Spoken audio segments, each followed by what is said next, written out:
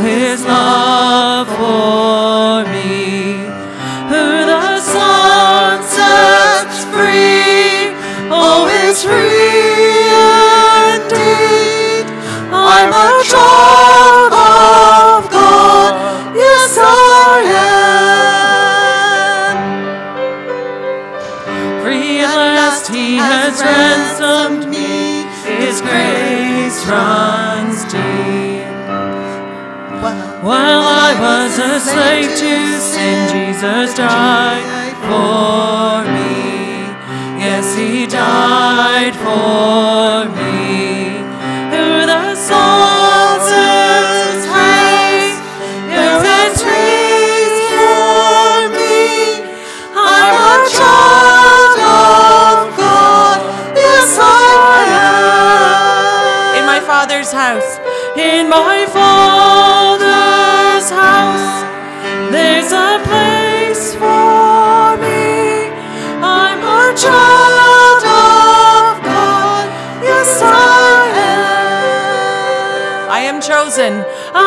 control.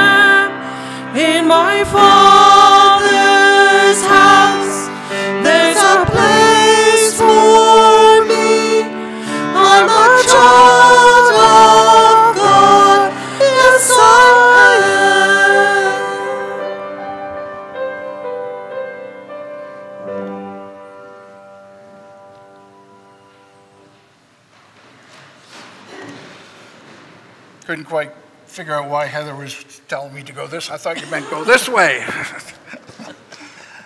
so lovely to see all of you this morning. And uh, this is a beautiful day today, isn't it? We could almost go golfing. Not quite. Join with me in our call to worship. Happy are those whose hope is in the Lord. For, God, keeps faith with us forever. Praise our God who brings justice for the oppressed and gives food to the hungry. We, will, worship, the Lord, who lifts up those who are bowed down and supports the orphan and widow. God will reign in mercy and righteousness for all generations. Let us, Let us praise, the Lord, and seek to honor God with our lives.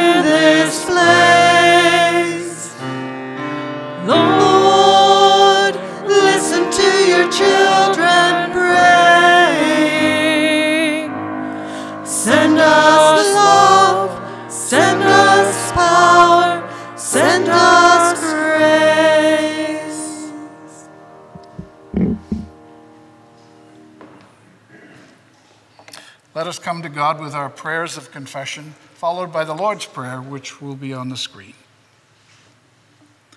God of justice and peace, we gather at this solemn time of the year, aware of the costliness of war, in the face of hostility between nations and neighbors. You have asked us to be peacemakers, to be agents of love and compassion to all we meet. In this time of worship, renew us in the hope that you will turn swords into plowshares and lead the world you love away from the study of war to the promise of peace with justice for all your peoples. God of justice and mercy, we confess that in the world today there are so many conflicts between nations, between ethnic groups, and between political persuasions. Countries turn disputes over territory into threats of terror. Old enemies stir up conflict within their tribes and nations. We confess we have not learned from past conflicts what leads to peace with justice among nations and neighbors. Forgive us and lead us in a better way through Christ our Lord, who taught us to pray, Our Father in heaven, hallowed be your name. Your kingdom come, your will be done on earth as in heaven. Give us this day our daily bread, and forgive us our sins, as we forgive those who sin against us. And lead us not into temptation, but deliver us from evil. For yours is the kingdom, the power, and the glory forever. Amen. The good news of the gospel is that in and through faith in Christ, we enjoy God's peace, God's grace, and God's forgiveness. Thanks be to God. I have a reader that's going to come at this time.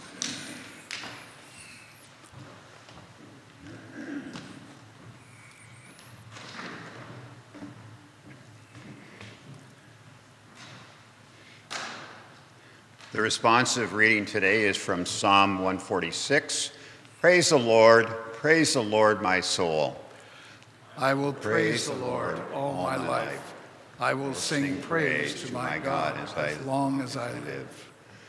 Do not put your trust in princes, in human beings in, who cannot save. When their spirit, Spirit departs, they return to the ground. On that, On that very, very day, their their plans plans come come to nothing. nothing. Blessed are those who help is the God of Jacob, whose hope is in the Lord their God. He is the maker of heaven and earth, the, sea sea, and and everything everything in them. He, He remains faithful. faithful forever. He upholds the cause of the oppressed and gives food to the hungry. The Lord sets prisoner, prisoners free. The Lord gives sight to the blind. The Lord, the Lord lifts, up, those who are bowed bowed down. The The Lord, Lord loves, loves the righteous. The Lord watches over the foreigner and sustains the fatherless and the widow, but he frustrates the ways of the wicked. The Lord reigns Forever, forever. your God, God, O Zion, Zion, for For all, all generations. generations, Praise, praise the Lord. The New Testament reading is from Colossians 3 1 to 4, 12 to 17. Since then, you have been raised with Christ. Set your hearts on things above, where Christ is seated at the right hand of God. Set your minds on things above, not on earthly things. For you died, and your life is now hidden with Christ in God. When Christ, who is your life, appears, then you also will appear with him in glory. Therefore, as God's chosen people, holy and dearly loved, clothe yourselves with compassion, kindness, humility, gentleness, and patience. Bear with each other and forgive one another if any of you has a grievance against someone. Forgive as the Lord forgave you. And over all these virtues, put on love, which binds them all together in perfect unity. Let the peace of Christ rule in your hearts, since as members of one body you are called to peace, and be thankful. Let the message of Christ dwell in among you richly as you teach and admonish one another with all wisdom through psalms, hymns, and songs from the Spirit, singing to God with gratitude in your hearts. And whatever you do, whether in word or deed, do it all in the name of the Lord Jesus, giving thanks to God the Father through him. The words of our Lord. Thanks. Thanks be to God.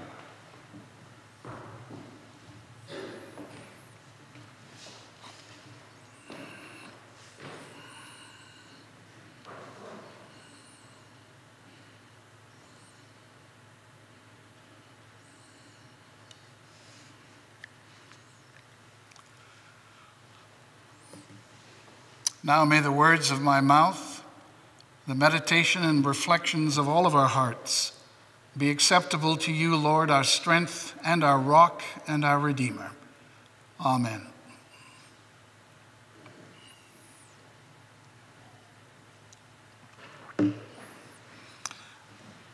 I was thinking, um, this working all right? You can hear me? I can move over here? I was thinking this morning, for some reason, it popped into my head that in, in my previous church, one of the things we did at Remembrance Day, we, we created a, an ecumenical service. I must confess, um, it was a lot of work. but it just so happened I had the moderator of the General Assembly preaching that day, that morning. So this was an afternoon service. So we had the moderator of the General Assembly. I had the Anglican Bishop of Ontario there as well. I had the um, Catholic priest from the cathedral, one of them. Uh, who else did I have? Must have been a Baptist there or something. Anyway, we had a whole bunch of people. And uh, it just reminded me how far we have come, we good Presbyterians, in the last hundred years, because that would not have happened a hundred years ago. Last week, we spoke about our heritage in the Reformation of Luther and his understanding that faith was faith alone and grace alone. It's a famous Latin phrase, sola fide and sola gratia. Salvation by faith alone and by grace alone. That was at the heart of Luther's Reformation. And that formula is central to all of our churches in the Reformed community, including this one. But since 1950s, the ecumenical movement has softened these lines considerably. Until recently, the lines between us were pretty sharp, very bold. I remember vividly a pastoral visit I made to one of my parishioners. She was in her 90s, she was almost blind, but she still lived in her own apartment. I remember her stove had these huge letters on them to make sure she knew where one and two was. And she, she told me the story that when her daughter married a Catholic boy, her husband refused to allow her to go to the wedding. Men had power in those days, guys.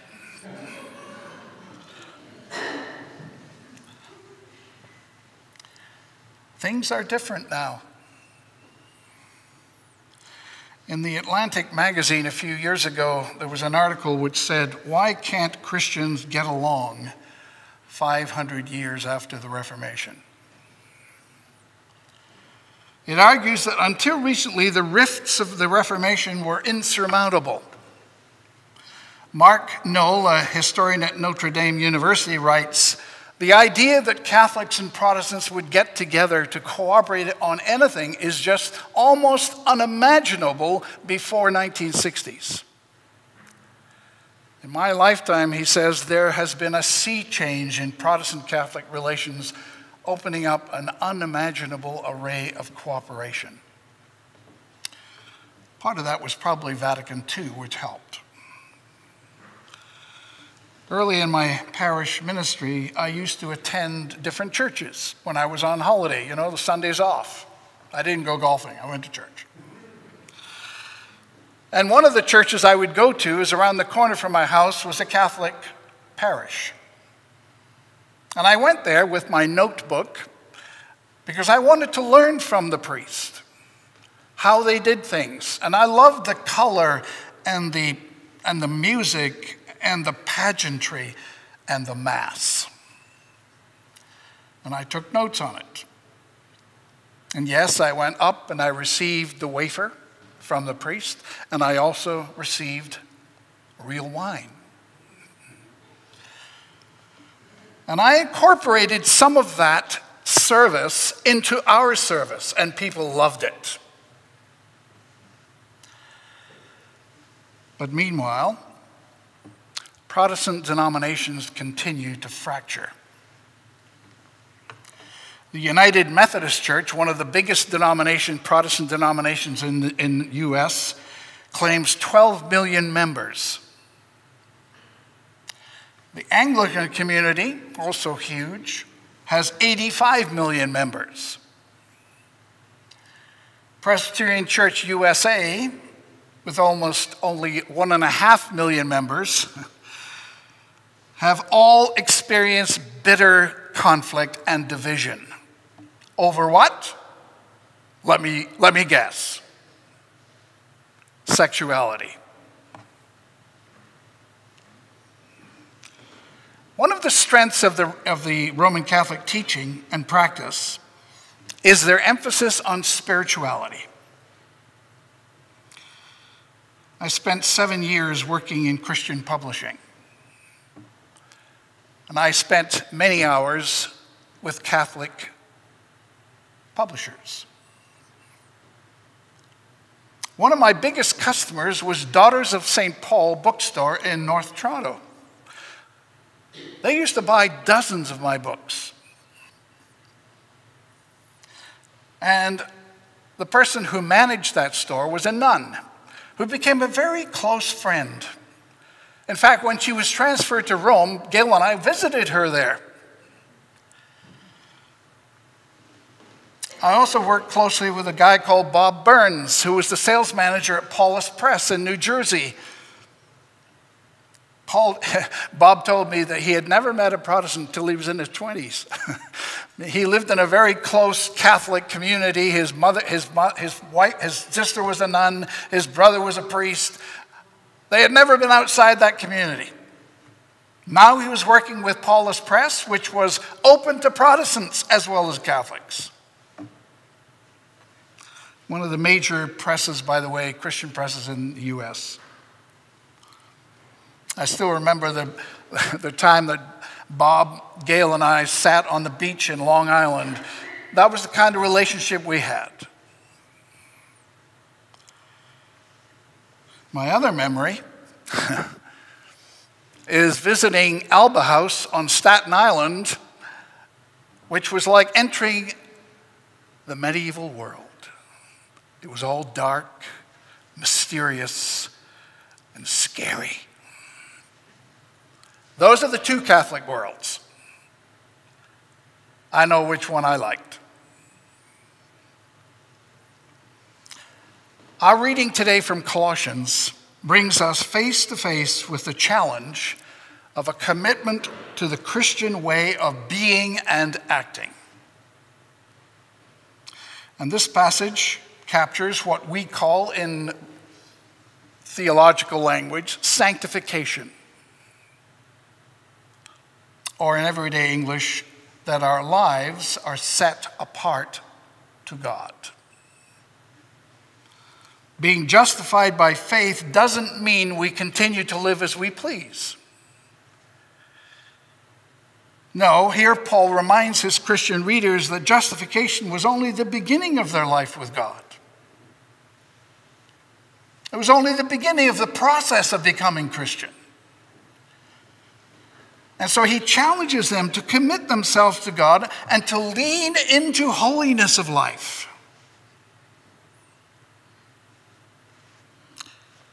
Their lives need to reflect this new reality into which they have been born. If you have been raised with Christ, he says, seek the things that are above, where the source of your life is. Seated at the right hand of God. Set your minds on things that are above, not on things that are on earth, for you have died and your life is hidden with Christ in God.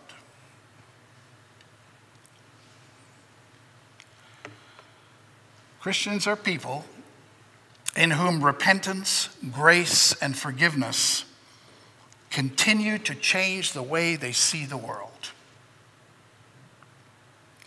We are committed to loving God and neighbor, which Jesus reminded us is to fulfill all the commandments. Paul reminds us, as God's chosen ones, holy and beloved, clothe yourselves with compassion, kindness, humility, meekness, patience. Bear one with one another. And if anyone has a complaint against another, don't slap them in the face. Don't confront them with hate. Forgive each other because you've been forgiven. Yes, grace has changed our lives. Forgiveness has washed over us and shifted our hearts toward God. In short, it means that as Christians, we are open to grow into people whose spiritual lives are central to who they are. And we can learn from Catholicism how to deepen that. Because that's one of their strengths.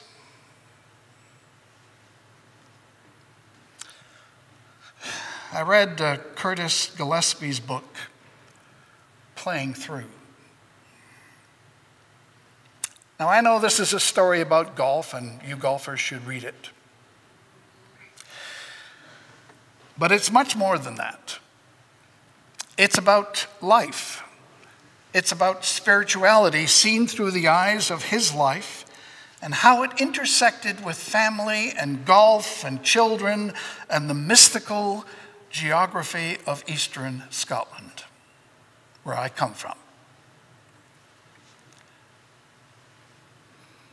Curtis Gillespie and Jack Marson are playing golf on the challenging Gullane number one course on the Lothian course coast, about 17 miles south of Edinburgh. Curtis has been a student at St Andrews and on the varsity golf team there in the late 80s.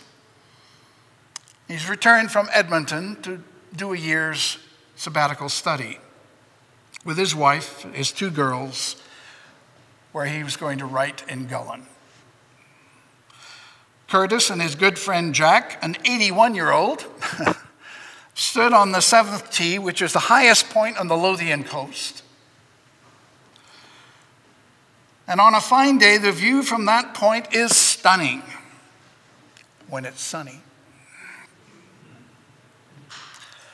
And there before you lie the North Sea with its long stretches of sandy beaches, and to the north, the hills of Fife and the city of Edinburgh. Curtis describes the effect of this view on him. The view flushed me to the core with light and space and color. It was a spot of such majesty that time and again I tried to find adequate words for it and I could not. Almost makes you believe in God, I said, looking oceanward. Are you not religious, son? Jack asked.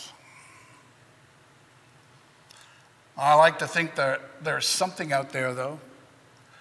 It's not so much that I believe in God, it's just that, well, I guess I, I just hope that there's something else out there.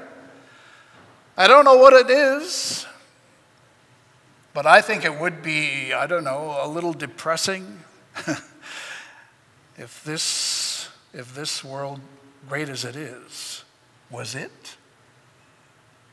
You know what I mean? Jack?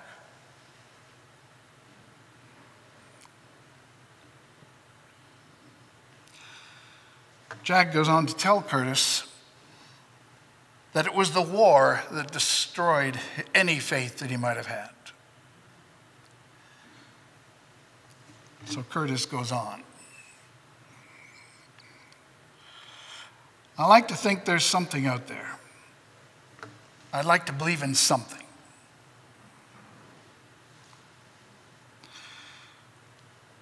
Has the wonder of the creation crept unawares under the barriers to you seeing life as it really is? Through spiritual eyes? Somehow, these experiences raise profound questions for us about the meaning of life. How do I fit into this universe? Where is this all going? Is this it? Think about, just for a moment, about the last time you had such a moment of spiritual insight. What was it like?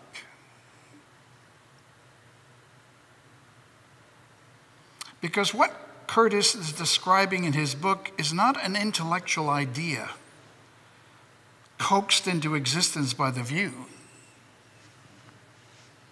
What he's describing is what arouses his spirit within him and the deepest part of him. What does it all mean?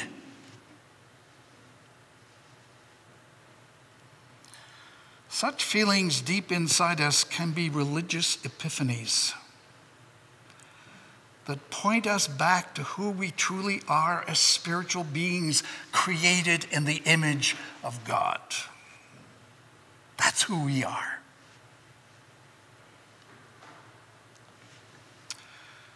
And so Paul can write, Let the peace of Christ rule in your hearts,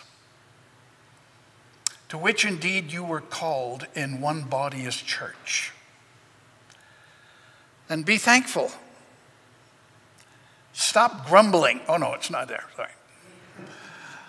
Let the word of Christ dwell in you richly. Teach and admonish one another in all wisdom and with gratitude in your hearts. Sing.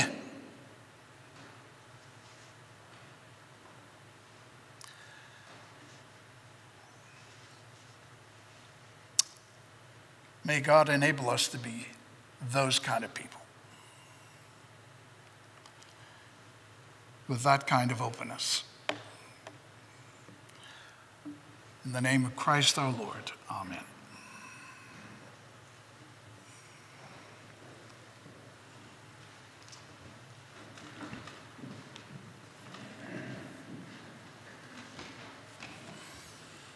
Thank you.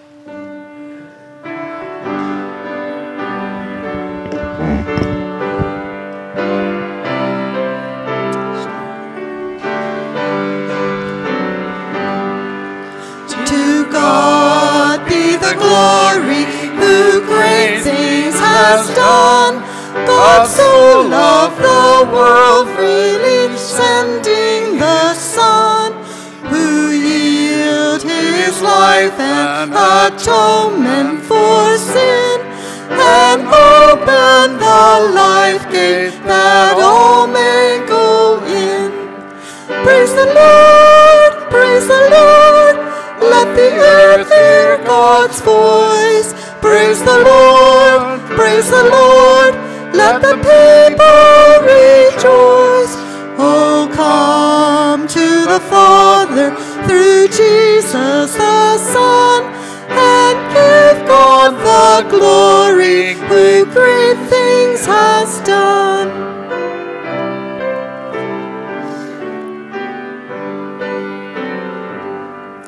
Oh, perfect redemption, the purchase of blood to every believer, the promise of God that when the offender repenting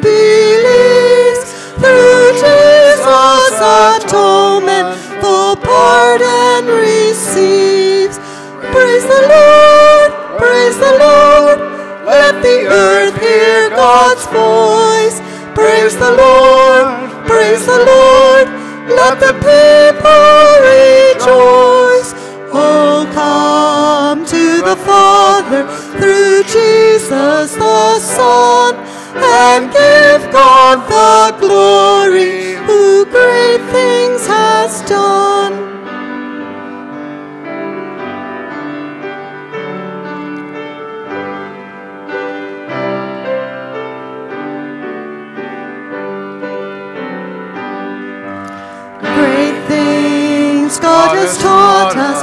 great things God has done, and great our rejoicing through Jesus the Son. But purer and higher and greater will be our wonder, our gladness when Jesus we see. Praise the Lord,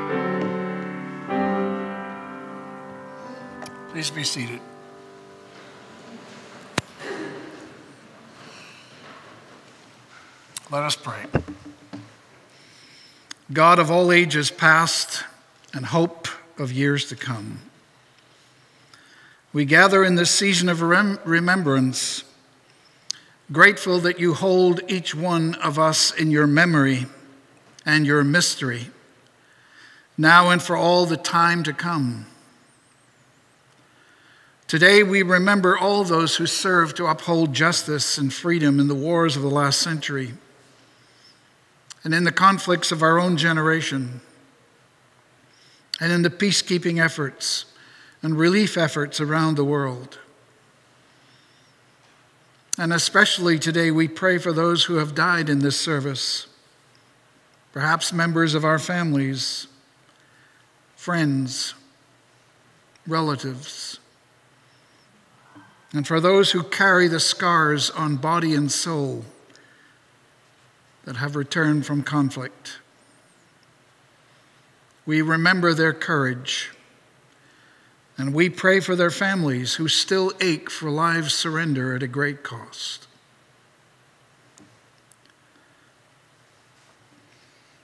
Lord, we remember before you the victims of conflict, hiding in forgotten corners of the world longing for safety and peace. Think of the people of Afghanistan who fear for their lives and their future.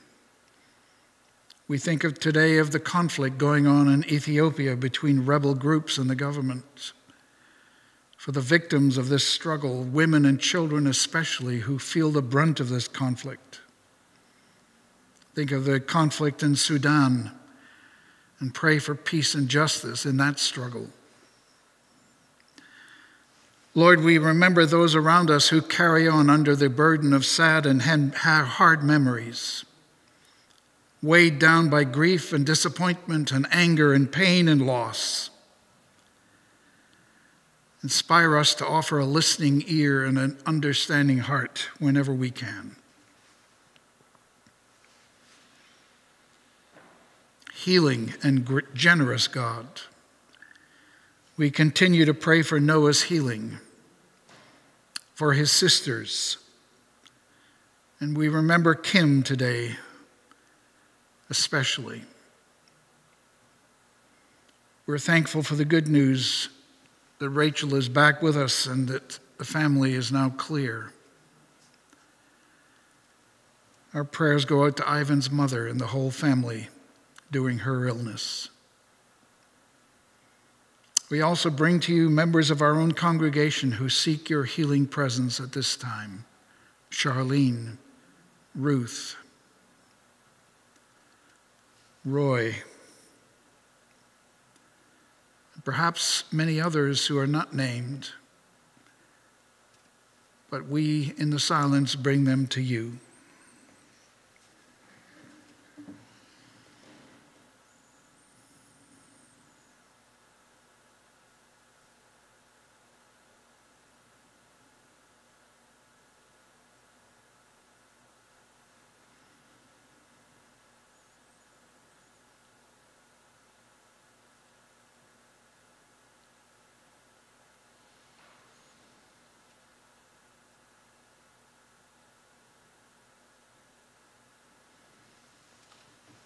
We bring all of these prayers, Lord, to you in faith and trusting that you hear us and answer according to your will. Through Jesus Christ our Lord. Amen.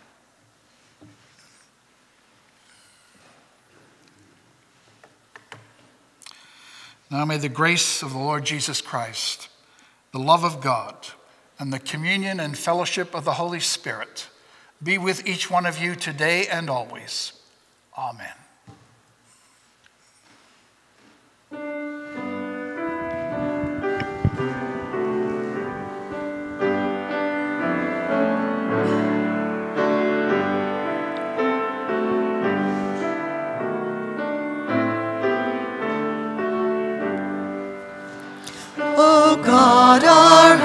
In ages past, our